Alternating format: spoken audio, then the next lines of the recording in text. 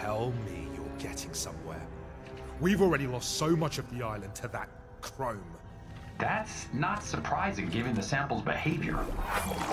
I've never seen such accelerated cytokinesis. Whoa! I'm starting to think this may be a problem.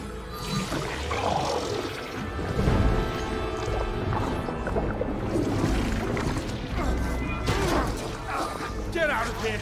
T'azzurro!